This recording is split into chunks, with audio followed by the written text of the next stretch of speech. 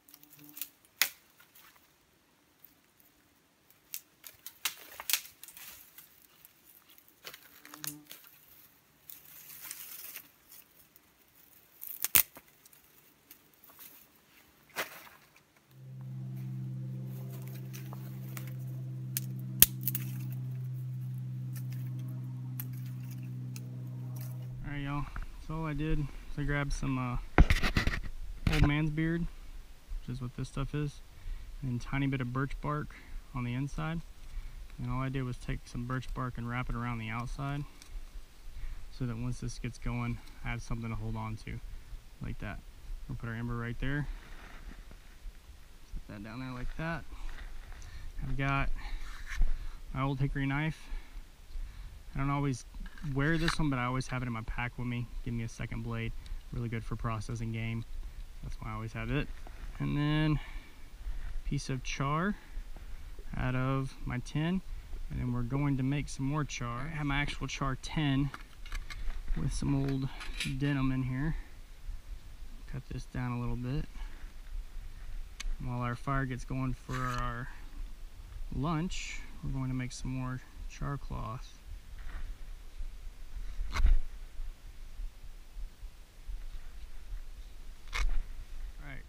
so we got our char tin. All this char cloth, or this cloth is going to become char in here.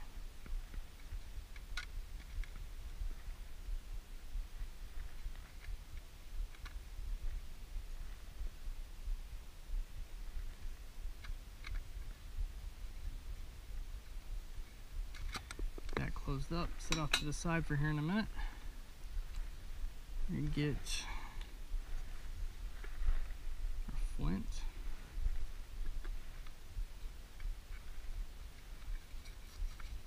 Out of here. I've got some char cloth in here, but this is this isn't always in my pack. I swap this one in and out for different kits, so That's why I need to make some more for this other kit.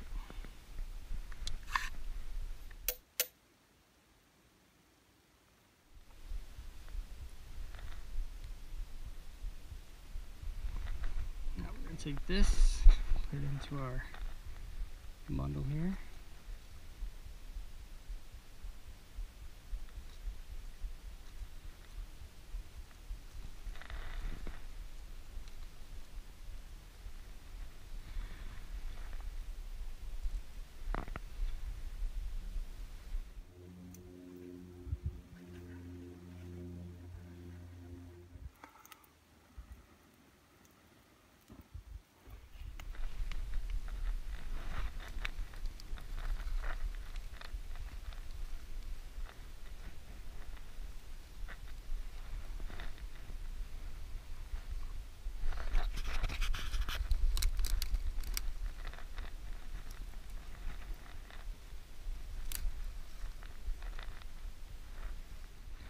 Fire get going and we'll add some more of our other prep that we got done earlier.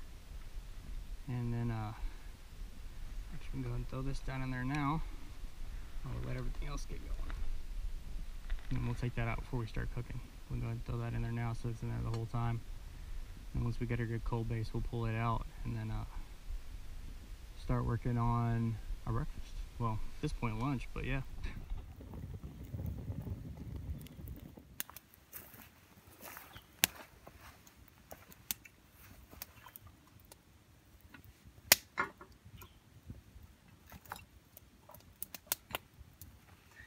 this uh, keyhole, like I said earlier, is one of the things I added to improve the camp, make life a little bit easier. So let this water boil. This is straight out of the creek, like you saw, so I get this boiled up.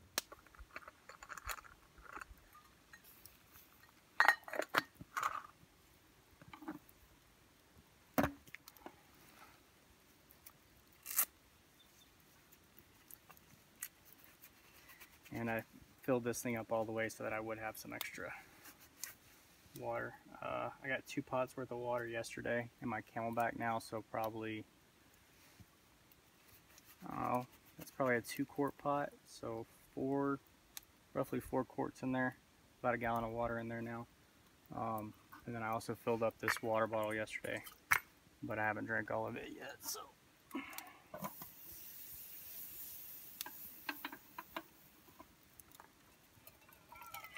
Way I measure for coffee in this pot, um, the rivets that hold uh, the rivets, excuse me, that hold the handle, I go right below the second one, and I know that that puts me at about three scoops of coffee.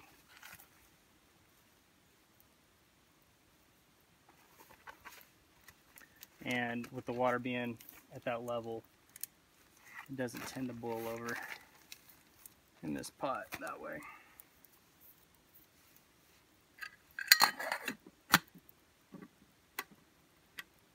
We'll set that over there in the corner. Let it get back to a boil again so we can have coffee. Alright, so while the rest of that last little bit burns down, we're going to go ahead and get our uh, food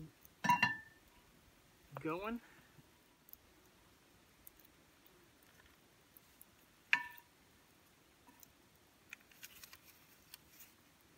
We're gonna do our eggs in here along with our sausage. We're gonna cook our sausage and then throw our eggs in. Make sure we got a good coat so nothing sticks. I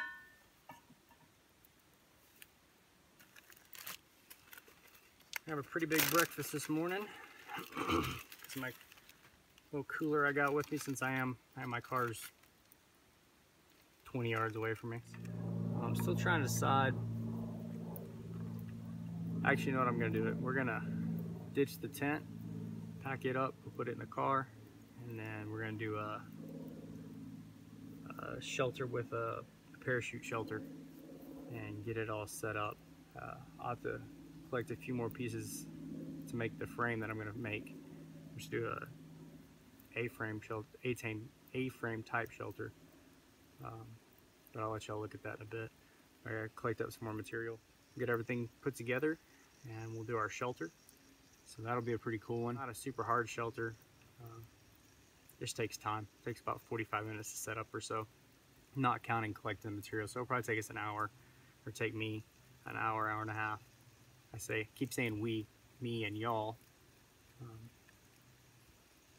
if you're new to the channel, I know I hadn't posted a whole lot up until this last week. Thank you for subscribing. I really appreciate it. I haven't been doing a whole lot. I will have an update video for y'all of what all is going on, uh, hopefully next week. Uh, waiting on a few things to finalize, and we'll have those. So, but thanks to all the uh, the new subscribers, appreciate it. I'm gonna finish getting breakfast cooked up, and I'll bring y'all back in a little bit once this is ready.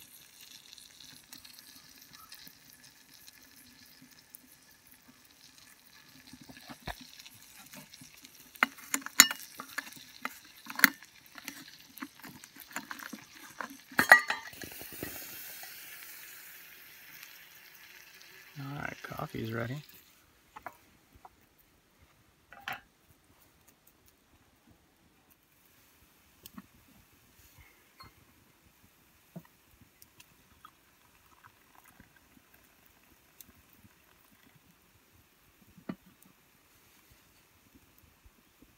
All right, y'all, so there's breakfast. Got our eggs, our jalapeno and habanero cheese, and our sausage. Fresh cup of coffee. All right, so I'm gonna eat real quick, and then I'll get back with y'all in a bit.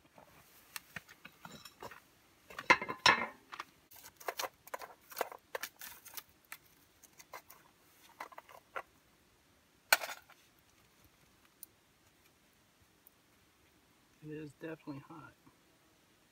It does still have a little bit of smoke coming out of it, so set this back down in here and add a little more fuel to this. Is it still got smoke coming out of it?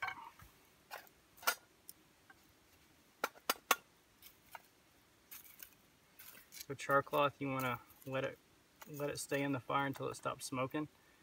And that was still smoking just a touch. It may have been the sweat off of my gloves that made it kind of steam, but it looked like there was actually smoke coming off the back over there. So we'll uh, add a little bit more fuel and uh, let this go for a few minutes longer and we'll start working on our our logs for our shelter. So I need two more that are between 11 and 12 feet and when I say feet I mean actual my foot so roughly a foot close to it so somewhere between 11 and 12 feet and then two of those and one six footer Alrighty. So let's see. These don't have to be super big. Um, about an Nalgene size. So size of an Nalgene bottle will work. We're not really doing much as far as holding weight. It's just gonna have a parachute on it.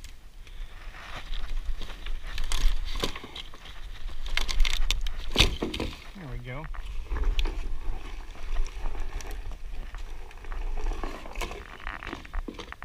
Let's measure it out and see how close we are. I know we got enough for at least our two long pieces. So here, let me. And then we're just gonna walk this out. Two, three, four, five, six, seven, eight, nine, ten, eleven. So there's one. It's 11 because I think my other one's 11. So if I keep them all at 11, they'll all be the same. One, two, three, four, five, six, seven, eight, nine, ten, eleven. There's definitely six foot left there. So here's our log.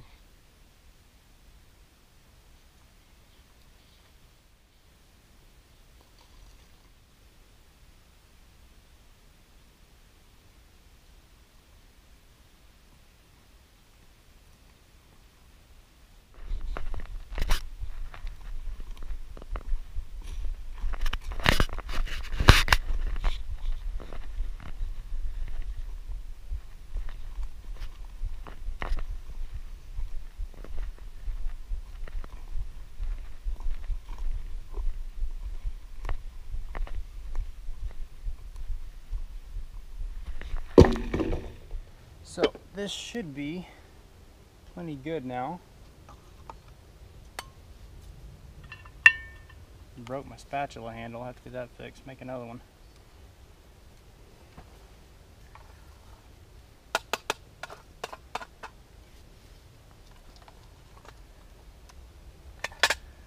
Let that cool off for a second. Alright, so let's see what we got here.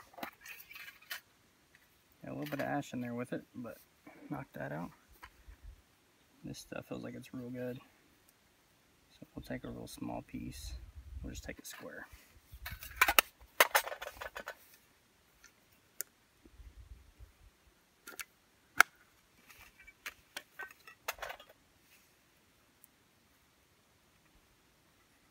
I don't know if I've said this before, this little piece of paper that's in here is to keep it from everything else in here from scratching up the magnifying glass.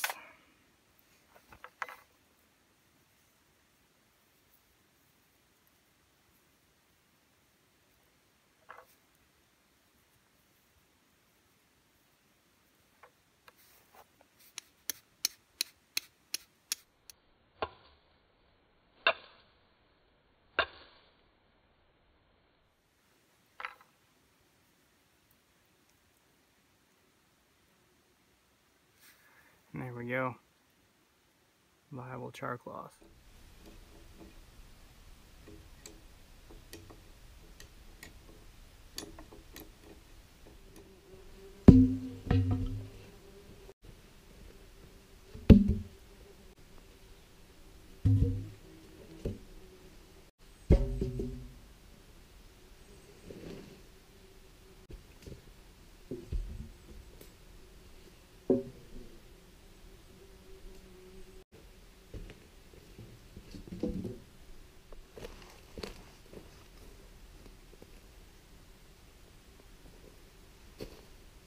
Thing you're gonna do, you kind of tell I got this oriented already. So I've got my three longs and my two shorts next to each other. And what we're gonna do is we're gonna lash the two short ones together and the three long ones together. And we're gonna do the two long ones on the far end away from us and the two short ones on the close end. So on this first one, bundled my line up in my hand. We're just gonna do a standard lash, three wraps, three fraps, and four on four on the other because the other one's gonna hold the weight of this middle piece. So I'm gonna do is do a bowline knot as my starter.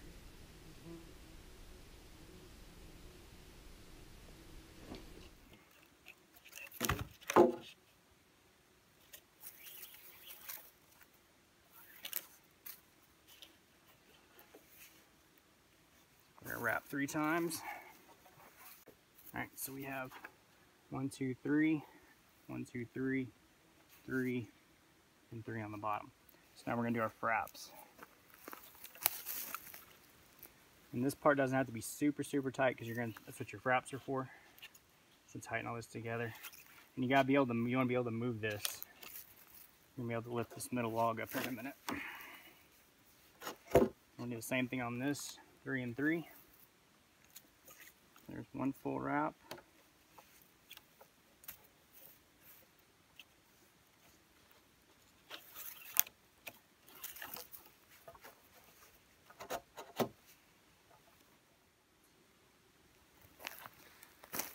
All right, so all I did on this part was three wraps and three fraps.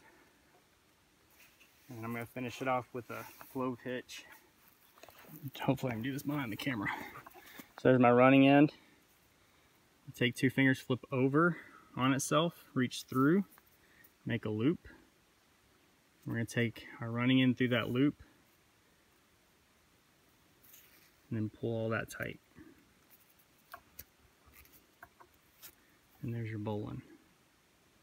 So that's all I'm doing.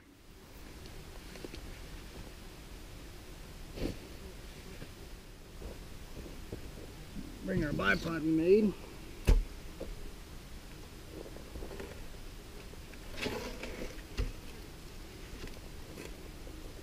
Getting it opened up.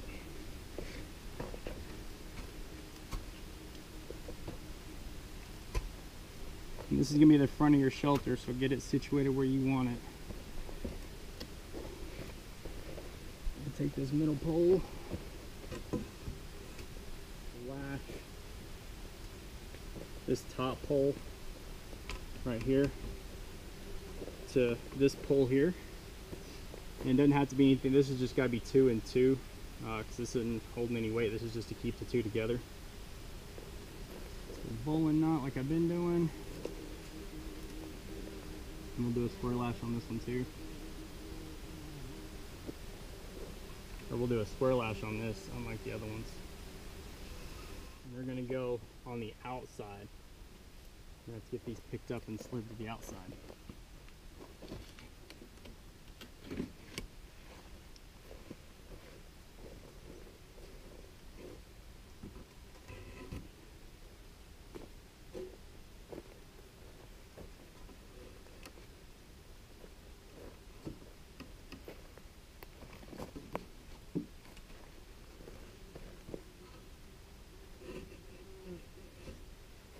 pretty good there. All right, so I move this in. Y'all can see what I'm doing. I'm gonna start my bowline.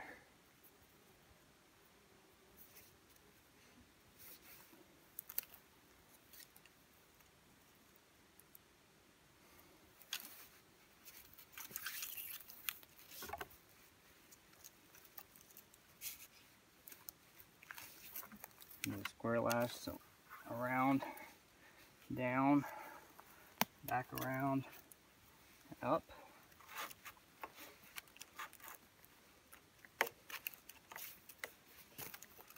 Same thing again.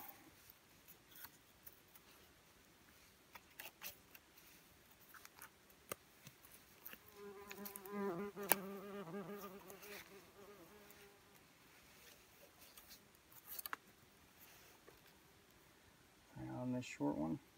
All I'm doing to tie these together is put a square knot in them.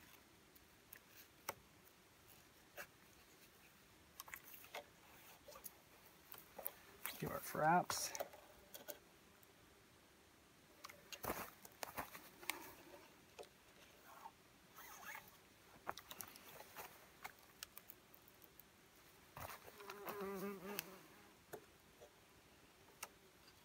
Get off that knot.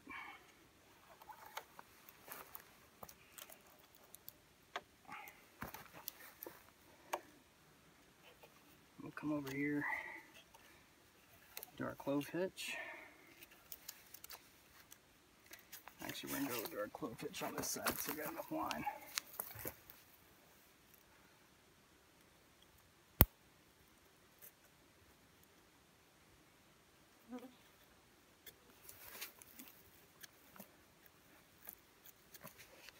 There's the framework for all of our shelter.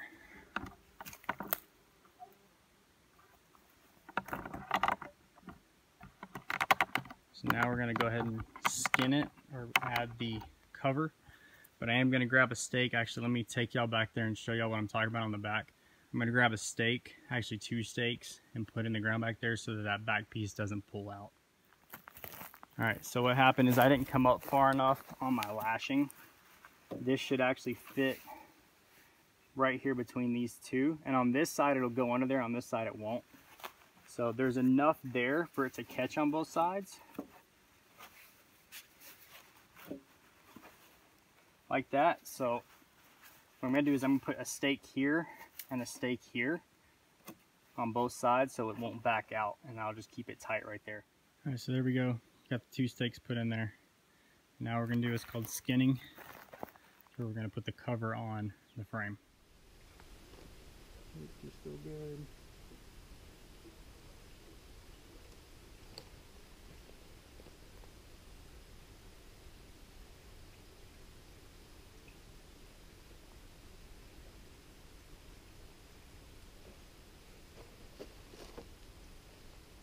Now what we're going to do, we're going to go to the back and start running buttons all the way down the sides. Alright y'all, so there's the finished shelter. I'll walk around here so y'all can see it. Now, there's a couple spots I could tighten up some more, but for a one night stay, no big deal. Down here, these buttons. Pull some more of that little slack out there. But overall, turned out pretty good. Normally you would make this another, uh, probably another one, two, so to get down to one more line, you'd want to add another foot to this almost, normally. But we're working with the logs I had and not wanting to cut a bunch of the guys' stuff other than what I already did. If you leave it a little bit shorter like that, you got a full ground cover, two layers from the leftover material. You see that second line right there? You want that to be right at the log level, and that's a little low. But overall, not bad. Uh, now what we're gonna do, sorry I didn't get the whole thing filmed. I'll redo this shelter again. All right, so to get our poncho on here, uses the door.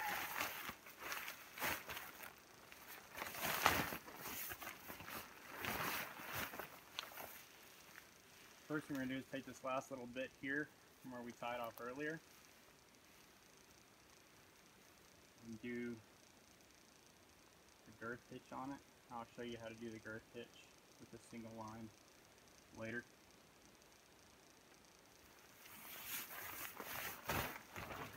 Alright. Alright, so you can see me there. So I'm going to take a bite, run it through the grommet, run both pieces through there, create a girth hitch, and I'm going to bring this straight, straight back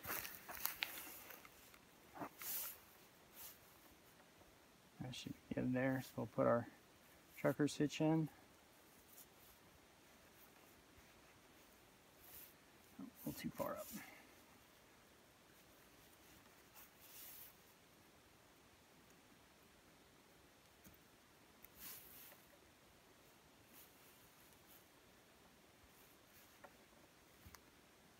That should be good there.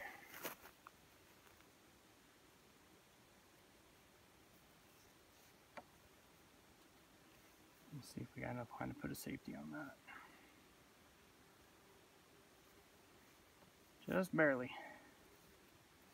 There's our two lines coming back. And we don't need the door, so like right now. Take this,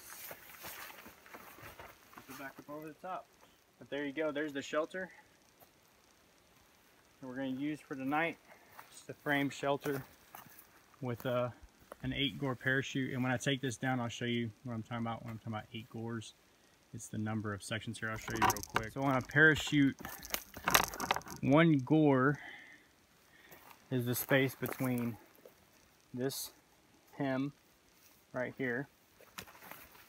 I'm not gonna be able to pull it down, but this hem right here, where this piece is, where the two pieces are sewn together, between this one and this one, is a gore.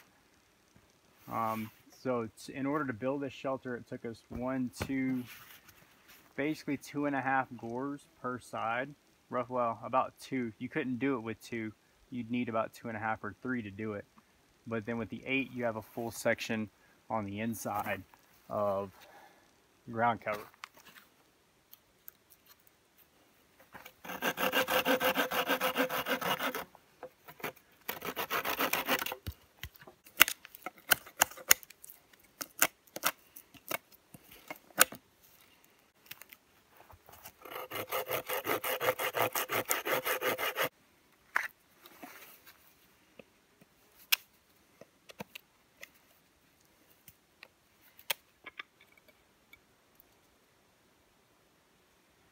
our loop through there. And that'll hang right over our fire. And we can adjust our tripod up and down as needed.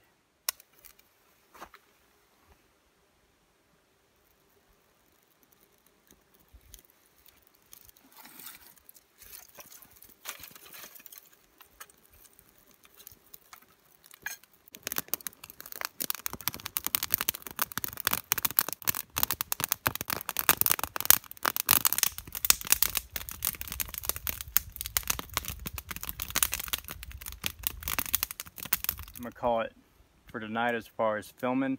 Uh, we're almost too dark for one, and two, I need to go get everything charged back up. The GoPro is completely dead. I already had to char charge my phone once while making this video today, actually twice. Um, so I'm gonna get everything charged up for the night and ready to go for tomorrow. And uh, I'll go into depth tomorrow on that shelter a little bit more uh, as far as the different stuff I did that wasn't close up. Um, I'll do some close up stuff explaining what it is, how it works, and why you do it uh, when I take this down. So you'll get an idea of what I'm talking about, some of the stuff I was talking about earlier. So get this cooked up and I will see y'all in the morning unless something super cool or crazy happens. Morning, y'all. It is like 8.30 something. Pretty good night's sleep. Uh, I love this shelter compared to the tent. There's so much more room. I'm after I got done, I mean, y'all saw I put my full pack in here and everything. I still got room. So and get up, get dressed, get breakfast, camp cleaned up, and I gotta head out of here. I'm gonna try and do, uh, there's a short trail here, right here next to the camp. There's actually two. Oh, me. There's two trails I'm gonna try and knock out real quick once I get everything cleaned up. Um, one of them's like a mile, one of them's about a half mile. Oh, I really want to do the short one because it follows the creek and see what it looks like. There's supposed to be a rock outcropping on that little trail next to the creek too. So go check that one out. Oh, but first, coffee, breakfast, and we'll go from there.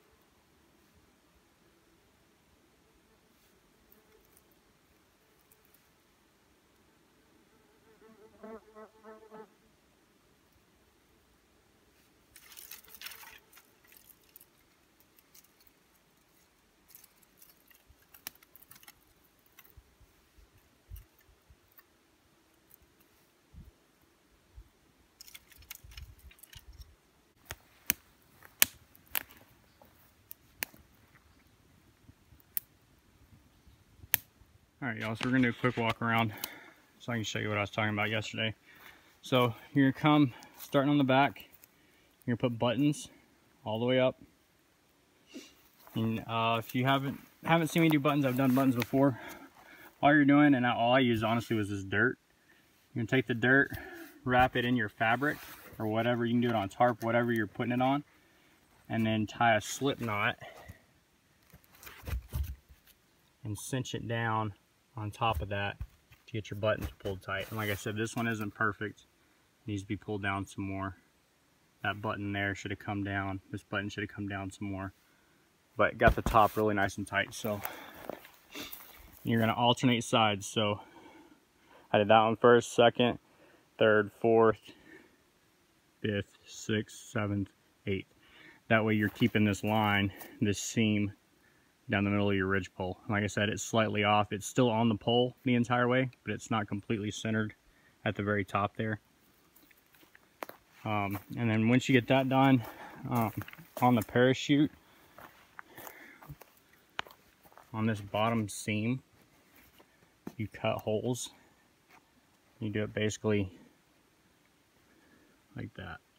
You measure it down and you cut like a one inch strip in there and melt it. And you're gonna start at the top and just do a girth hitch. You're gonna wrap around your pole and pull everything nice and snug and tight up to the pole. So you get all the way to the bottom. And that's just gonna pull that all the way to the front. So that's pretty much it. Um, I don't think I missed anything. Like I said, I'll do this shelter again. Um, next time I'm somewhere where I can get, pardon me, get stuff cut or that there's enough material there to make it. Uh, and I had this a lot lantern a lot lower last night. Um, slept great. Uh, actually more comfortable than my tent because this thing has got so much more room. And when you do it to the full size, it's got even more room. So, like I said, I was doing this off memory, and after I got it done, I realized all my poles were a touch short. All right, so all I'm gonna do, I just finished breakfast and I've already cleaned up some of camp. I got my sleeping bag and stuff, put it back in the stuff sack and in the car and organized. Uh, so all I really have left is my sleep pad, my, my ruck, and a few odds and ends from breakfast.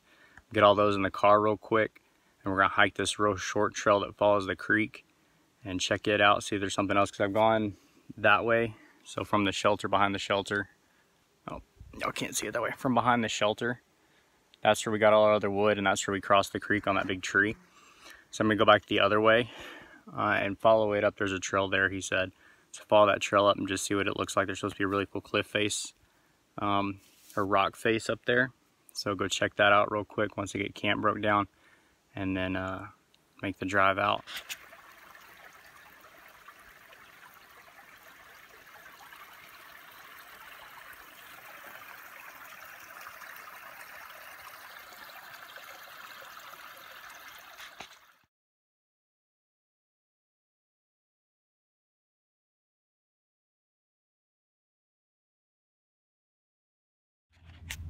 All right, y'all, so there's camp all cleaned up. Everything put away. Everything's in the Jeep, ready to go. Remember, there's always a storm coming. Keep your powder dry, your action knife sharp, and eye on your back trail. See y'all next time.